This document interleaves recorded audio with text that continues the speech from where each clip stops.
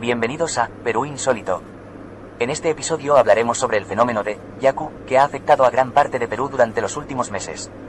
¿Qué es Yaku? ¿Cuáles son sus orígenes? ¿Cómo ha afectado a la población? ¿Cuándo se irá y cuándo lo volveremos a ver? Todo esto y más lo descubrirás a continuación. El nombre, Yaku, proviene del quechua, Yakui, que significa luchar. Yaku es un fenómeno meteorológico que se produce en la región andina del Perú, caracterizado por lluvias intensas, deslizamientos de tierra y crecidas de ríos. Aunque las lluvias son comunes en esta zona durante la temporada de invierno, el fenómeno de Yaku es mucho más intenso y prolongado de lo que se suele experimentar. Desde su aparición en diciembre del año pasado, el fenómeno de Yaku ha afectado a 22 regiones del país, causando inundaciones, deslizamientos de tierra, destrucción de viviendas y la pérdida de cultivos. Se estima que más de 200,000 personas han sido afectadas directa o indirectamente por este fenómeno, lo que ha llevado al gobierno peruano a declarar el estado de emergencia en algunas regiones. Pero ¿cuál es la causa de este fenómeno?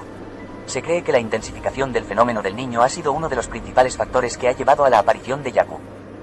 El calentamiento de las aguas del Océano Pacífico frente a la costa de Perú ha creado un clima más húmedo y ha aumentado la intensidad de las lluvias en la región. A pesar de los esfuerzos del gobierno y de la población para combatir los efectos de Yaku, todavía es difícil prever cuándo se irá este fenómeno.